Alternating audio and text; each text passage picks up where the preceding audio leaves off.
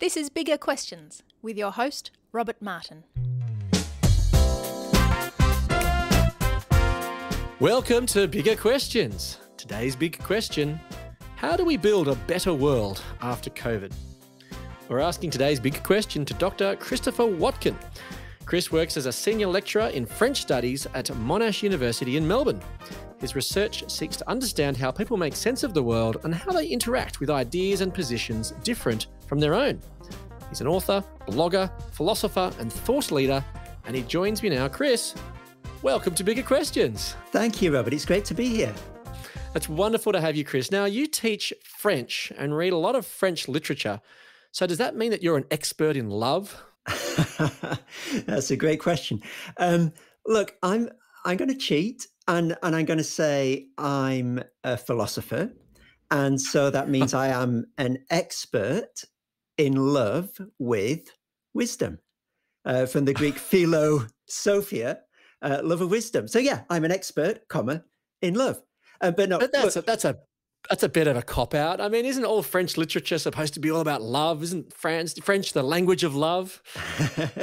um, look, I'm I'm going to make a bigger claim than that. I'm going to I'm going to trump you and say right. the whole the whole of thought is actually about love. Everything that we think is actually about love. Um, so the uh, Christian philosopher Esther Meek uh, has written a book, and she says that uh, rather than sort of knowing in order to love, we actually, as human beings, we love in order to know.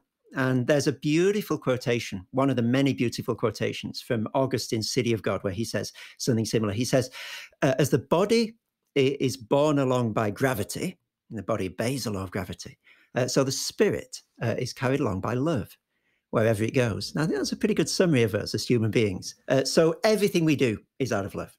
Well, Chris, we're going to ask a big question today. Perhaps it's going to be for love for some as we reflect on philosophy and some of life's biggest questions. But we're talking today about uh, the coronavirus pandemic and how it's shaped and changed our world because it's led to a lot of disruption and change right across the world. And today's big question does ask about how to build a better world after COVID. Now, one particular idea in envisaging a better world was proposed last year by the World Economic Forum called the Great Reset. So now, Chris, you've done a lot of thinking and research into this. Can you just tell us a bit about what is the Great Reset? Yeah, thanks, Rob. It, it's one of the really interesting, sort of part of an interesting trend that we're seeing at the moment to brand the idea of a new social contract. So there's lots of people calling for a new social contract today. You've got the UN Secretary General, Extinction Rebellion, you know, people lining up to do that, and and there are three or four different ways of branding that. So you got the um, Green New Deal.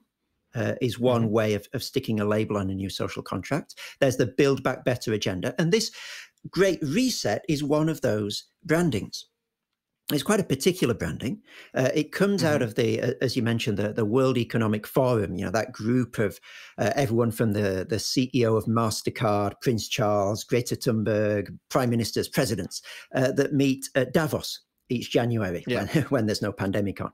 Um, and it's it's headed up by a, a, German engineer and economist called Klaus Schwab. So that's the the think tank, if you like, that this idea of the Great Reset uh, is coming out of. And it's sort of an idea not to miss the moment, I guess. So when you mm-hmm. listen to these people talk about the Great Reset, uh, they often say the financial crisis of 2008 was a huge missed opportunity uh, there was a golden moment to change the system, and we didn't. And therefore, we're mm. going to risk everything happening again and, and a new financial crash. And they say COVID 19 is another one of these unfrozen moments, uh, the moment where radical change is more possible in society than it mm. usually is. Uh, and they're determined not to miss it. They want to change hmm. society mm. as they see it for the better at the moment. Yes. Well, well, Klaus Schwab actually has said, he says the pandemic represents a rare but narrow window of opportunity to reflect, reimagine, and reset our world. So, so that, that's he's looking at obviously at the world after to COVID, and he sees that there's opportunity to change. That that's how you're, you're seeing it here. Yeah, pretty much so. I, I think the word reset though is is a little bit of a red herring. So the idea is not mm-hmm. to go back to some so you know when you reset your computer that's not what they're suggesting it's not a going back it's actually a propelling us accelerating us forward really um, and mm. trends that are happening at the moment they want to happen more quickly uh, and there's basically three things, as far as I can see, Yeah. that the Great Reset guys want to do. Uh, they want to make society greener. Uh, they want to make society more digital, uh, and they want to make society fairer. Um, and now all those are things that are already happening. You don't want to go back in time. It's not a reset. It's it's an acceleration. So almost a reimagination, perhaps. Yeah, yeah. How society ought to look, and how can we get there? Yeah, yeah. So how how do they? I mean, that sounds all pretty pretty good, I suppose, in many ways, a digital, green, uh, fairer world. But how do they propose to get there? That's a really interesting question again. I think a lot of their rhetoric is quite top down. So it's about regulation, it's about new laws, it's about sort of big multinational corporations setting agendas. Um, and so not to jump the gun and, and to get into a critique of this, but I think that's that's part of the issue. Um, that social change isn't just managed from the top down. Um, it's part of it, Mm. of course, but there, there's more to changing a culture and changing a society than just bringing new laws and new regulations in. Yeah. So if you've just brought in new laws, so to speak, it's not really changing much fundamentally, is it? Though, is it? Can, can, is it? Is it? Can it, can it have that potential to change things fundamentally by just changing the law? Well, I think you can fall off this donkey on on both sides. You, you can go to two extremes. You can either say social change only happens bottom up. It's about communities. It's about agitation. It's about activism, um, and the law is always a, a you know what they call a lagging indicator. It's always playing catch up. Or you can sort of um, jump to the other extreme and say it's it's laws and it's governments that change cultures. Now, I think there's something in both of those, but I think both of them are inadequate. If you look at something like uh, the civil rights movement uh, of the mid 20th century in the US, uh, that social change happened because of a lot of reasons. There was a, a local and a micro local level, there was cultural change, there was lobbying government, there was big sort of set piece speeches, I have a dream, and so forth. And, and so I think we can't say either social change has nothing to do with changing laws and regulations, uh, but we can't say that social change is just about those things either. But Chris, you're a philosopher, an expert in love, perhaps, uh, an expert in French studies. It seems a long way from the World Economic Forum and social transformation and so on. So, what got you interested in the Great Reset and, and the future of the world, so to speak? The thing that I'm working on at the moment, the thing that I've I've got some funding to to have a look at for four years uh, of my life, uh, is the idea of the social contract. Uh, and of course, that's a big idea for society broadly, but it's also really big in, in French philosophy as well. One of the big theorists of the social contract is Jean Jacques Rousseau. And uh, since him, there have been other big French thinkers of the social contract. Uh, and so, coming at that from a French point of view, uh, trying to see what do Rousseau and others, Hobbes, Locke, Rawls in the 20th century, uh, think that the social contract is. Um, where is it under stress in society today, uh, and what strengthens it uh, is sort of the the big tent of which Mm. um, you know the Great Reset is one of the tables uh, within that tent.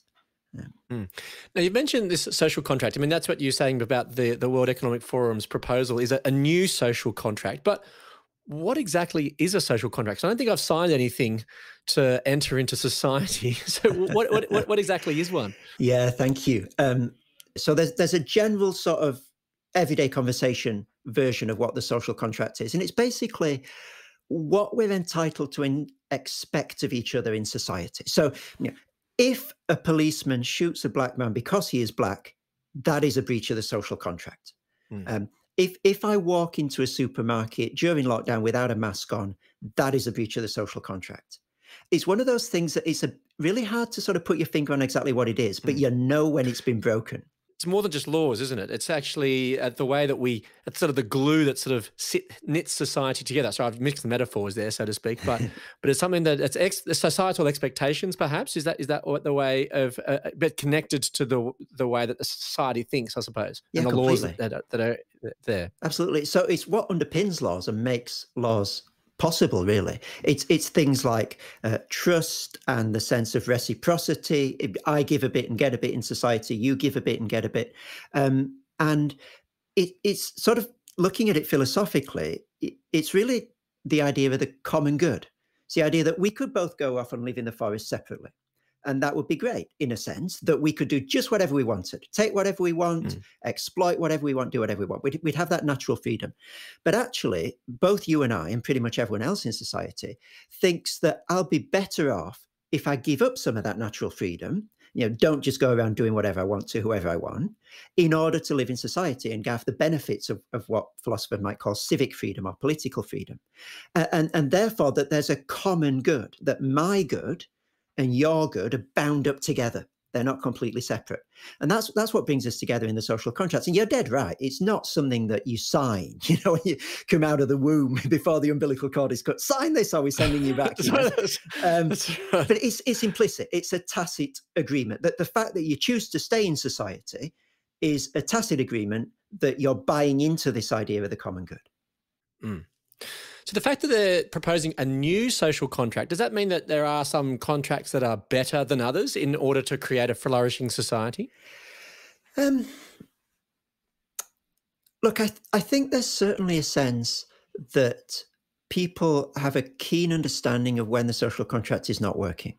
Uh, and therefore, you know when it needs fixing. And so I think when you talk about um, is there a better social contract than another? I think what you're probably, what one's probably getting at is the sense of do we have this gut idea of the common good?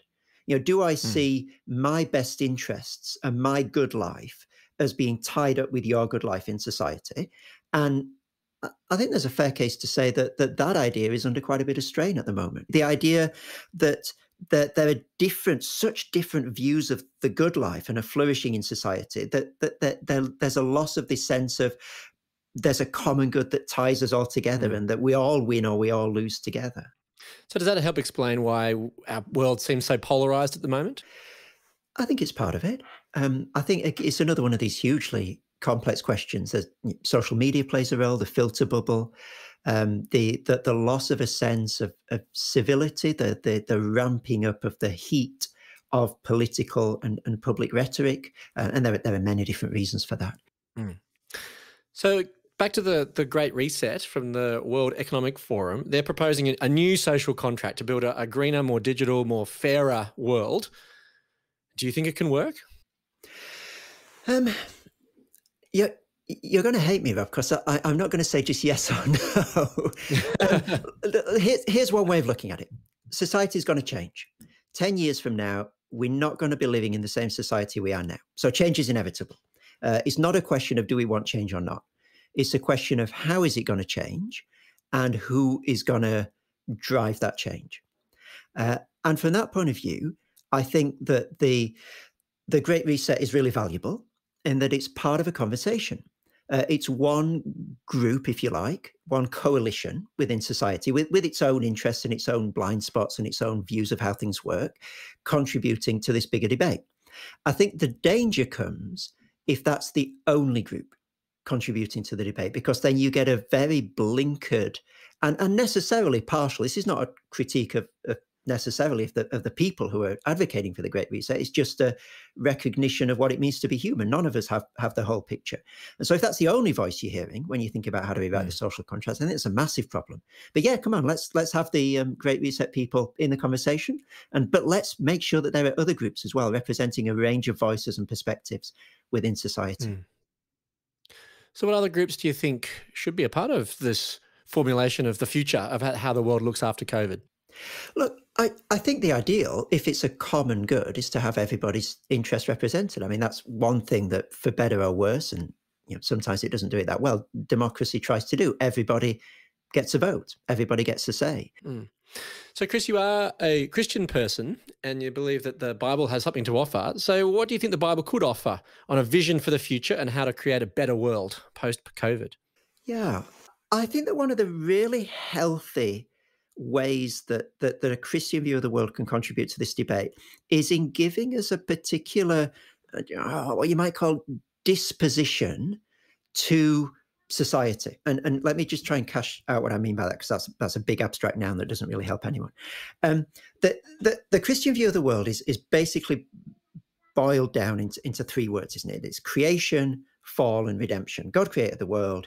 Um, things went wrong, uh, and He will put it right. In the end. And that gives you a rhythm, it gives you a pattern for the whole of reality. And, and particularly, I think it gives you a pattern for the for the sense of of how you should expect society to be renewed and what, what we can expect of a renewal of society. So um, just very quickly, creation, um, the, the idea that things things were made to be good. Things weren't made to fail and to go wrong in the beginning. Human beings were made to be good. Um, so there's no sense in the Christian view in which we're simply, you know, I don't know, trash or to be managed or a liability. Human beings are incredibly precious and important. Um, but that's not the only truth that the Bible tells us about us or about society. there's also the idea that we've we've turned away from God. Uh, we've chosen uh, to follow uh, our own lights uh, and to to seek our own good, if you like. And the problem is, if mm-hmm. you got a, a, world of you know six, seven, eight billion people all seeking their own good, that's a lot of clashing goods, and that's not going to make for um, a, a, harmonious uh, or strong uh, social contract. Um, but then you know there's the redemption. That that's not the final chapter, um, and God has a plan, and He's going to put things right. And so mm. I hmm. think what that tells us in terms of renewal of society is to be more sober than the pessimists and at the same time more optimistic than the utopians you know so the bible leaves you in no doubt about the depths that human beings can sink to um, and and mm. you know there, there are some social theories that think people are basically really really good and all you need to do is is get rid of the um, social structures that are keeping them down and then everything's going to be wonderful i think that's a biblical mm. view but then again there are other social theories that think people are basically corrupt and selfish, and you need strong government and tough punishments to keep them from messing everything up, because that's what they're going to do if left to themselves. And I don't think that's the biblical view either. Um, mm. And and I think there's also a sense in which is not just half of one and half of the other in the Bible. Um, there's what the philosopher Paul Ricoeur called an asymmetry between good and evil. Good comes before evil. Uh, it's it's more radical. It's it's deeper, more fundamental than evil. Um, evil has a, a sell by date in our universe. Mm. Uh, it will that there will be an end to that. And so I think that the mm. Christian position, while recognizing the, the the depths that human beings can sink to, always finishes on a note of hope. Uh, there's an mm. ineradicable, fundamental, structural, skeletal hope. And, and I think that gives you a disposition you know, towards thinking what's possible in society, what are humans going to do if left to themselves? Can we renew society? And and it's a complex one, isn't it? It's not just whatever mm. we do is stuff it up, and it's not just mm. just let us get at it and we're going to make a fantastic society. I think it gives you a complexity and a nuance that sometimes it's just a little bit hard to get with views of the world that don't have that asymmetry of good and evil in them. Mm. Well, the Bible does offer some uh, ideas or some glimpses, perhaps, of a disposition uh, uh, in, in, other ways as well about how a flourishing future can be developed. And some of these ideas perhaps are found when Jesus was asked what the most important commandment was in Mark 12, 29 to 31.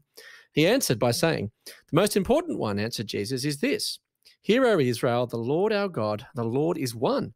Love the Lord your God with all your heart and with all your soul and with all your mind and with all your strength. The second is this love your neighbor as yourself. There is no commandment greater than these. So, Chris, what do you think then of the, the concept of loving your neighbor as yourself in the idea of the social contract and, and trying to create a flourishing world? How could that work? Mm, yeah, thank you, Rob. It, I mean, it's a very rich idea in the in the Christian tradition and, and central to Jesus' teaching, isn't it? It's a great verse to think about in relation to, to this idea of how to build a better society. Look, I I think the first thing to unpack perhaps is uh, what what Jesus means by neighbor, because there are two things it could mean, and they would lead to very different societies. Um, right. If if by neighbor we mean people who are like us, you know, which tends to be the way that, that the word neighbor is used. People who live near me tend to be people who are basically like me, people in the same socioeconomic band and so forth, people who can afford houses near my house. Um, if that's what you mean by neighbor, then I think it's a pretty disastrous foundation for a social contract uh, because it's it's a recipe for a fractured society with different groups fighting against each other. If my neighbor is just people who are like me, I don't think you've got a very strong society. But of hmm. course, that's not Jesus's idea of what a neighbor is, um, and he he cashes it out, doesn't he, in that um, classic parable, that very uncomfortable parable of the Good Samaritan. uh, where the, the mm. expert in the law asks Jesus, Who is my neighbor? Uh, and Jesus tells him this story, which Jesus gives the answer Your neighbor is the person in society who you most despise, who is least mm. like you. Whoever you think is deluded and corrupt, that's your neighbor. And, and that'll be different for all of us, won't it? You know, for, for some of us, that will be Trump supporters. For others of us, that will be Antifa members. For some of us, that'll be traditionalists. For some of us, that'll be progressives. You know, Jesus says to all of us very uncomfortably, that's your enemy. Love her. Love him. Mm. That's your neighbor. That's your neighbor. Yeah. I, I, beg your pardon. Yeah, that's yeah, that's your neighbor. well, yeah. he said love your enemies as well. I think that was the they become your neighbors. That's part of the the, the subversion that perhaps that the Christian message offers. Well, well, best cue drop. You you got me out of a hole there. That's exactly right. Yes. love, love, your enemies. Love your enemies. That's what I meant. That's what I meant. Um, and, and, and okay, so I think love your enemies, love your neighbor in that sense is the basis for a strong social contract. But it, we we're still flying at ten thousand feet. We're still quite abstract. So let's try and drag that down to earth and say, okay, fine. It's a no- noble sentiment. What does it actually look like? Um, and mm. and let me let me offer four little vignettes as to what that looks like on the ground. Um, I, I think it means according people who disagree with us the courtesy of thinking that they're in good faith until proven otherwise, that they really believe what they say, and until and unless mm. it becomes clear that they don't and, and they're just playing us. Uh, I think, secondly, it means to, to be able to articulate the position of people you disagree with in a language that they would own as their own. So if I've got someone who disagrees with me and I try and explain their position and they say, yeah, that is exactly it. That's how I would explain it. That's what I believe. I think that's part of it. Um, I think thirdly, to, to understand not only why people who disagree with us think their position is true, but also why they think it's good and beautiful. I think that's important. You know, why that their position sparkles for them, why it's so attractive to them. Mm. And I think until we can do that, we haven't really understood the people that we engage that we disagree with, and, and we're not, perhaps not in a position to engage with them fully. And and I think fourthly, it means to try to win over those that disagree with you and not destroy them. Uh, I think hmm. that's mm. that's a way of of loving your enemy as well, and and all that really just boils down to treating other people like you'd want them to treat you, really. Mm. So, how is what the Bible offers then distinct from other forms of social contracts? I think one way that you can come at that question is through this idea of, of love that we've been discussing. It it's not common for the word love to appear in discussions of the social contract.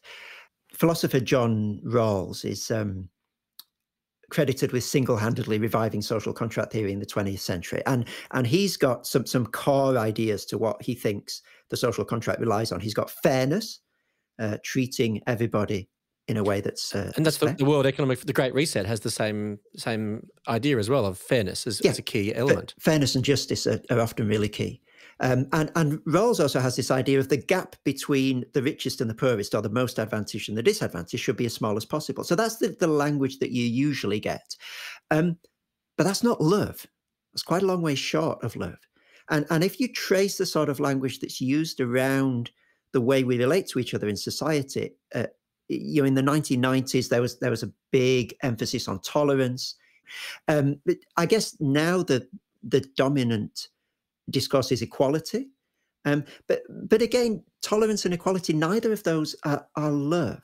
And so I think that the the bar the Bible is setting and the way that the Bible wants Christians to relate to other people is is qualitatively different to what's usually there in social contract language. Uh, it, it, it's not just tolerance, it's not just equality, it's not just fairness, it's not just reducing the gap between the most and least privileged. Um, love is a richer, thicker, more challenging concept, I think, uh, than than those mm. ideas. So, could this offer something then to the social contract theorists? Then, is that love is is a very sort of thick relational concept that reminds us that we're not just economic beings. So I think the danger of a lot of social contract theory is is it reduces the complexity of human beings to um, you know to to what philosophers have sometimes called a, a homo economicus, an economic man. But but that doesn't capture the complexity of what we are. And I think love is perhaps a, a less reductive language to talk about everything that we are as human beings. Um, and and it gets back into this Augustinian idea that I I, I really love, no pun intended, um, that it, it's our loves that drive us. Um, there, there, there, was a book, uh, James K. Smith published a book uh, a little while ago called "You Are What You Love," uh, and I think there's a real truth in that. Um, and mm. I, I, think getting a, a bigger, more complex, more adequate anthropology, a bigger idea of the human being into social contract theory uh, is is a really healthy move and love does that and you don't you don't have to be a christian to to to see that necessarily as as an important and a, a healthy thing to mm. do mm. so how about then you chris what difference has the christian faith made for you as you've considered this big question of you know social contracts great resets and, and making the world a better place but i think that what it's shown me it, it is an approach to the social contract that takes account of the whole of the person. The Bible has a view of us as, as whole human beings. There's no fundamental division between public life and private life. There's no fundamental division between economic life and and and love life in a, in a broad sense of love. You know what I love, what I what I go after in society. And and I think a lot of social contract theory, partly out of necessity because human beings are so incredibly concept that they're hard to model, um, but but partly in a way that really doesn't do justice to us as human beings, tends to simplify us and look at us through one particular lens. You know, we're economic utility maximizers or, or whatever we are. And, and, there's been a lot of critique of social contract theory actually uh, from uh, the, the, the point of view that that it actually assumes that we're all Western modern middle class uh, males uh, as well. So basically, it's, it's got these reductive models of the human being, and I, I think one thing that that Christianity has has helped me to see um, is that you can't reduce us like that. You can't take one bit of us and blow it up and pretend it's the whole thing. So, Chris, how do we build a better world after COVID? Well, Robert, in a sentence, we do it together and we do it as whole people. Let me leave you with some of the Bible's answer to the big question how do we build a better world after COVID from Mark 12 31. The second is this love your neighbour as yourself. I look forward to you joining us next time for bigger questions. Many thanks to our guest today, Dr. Christopher Watkin. Thank you, Rob.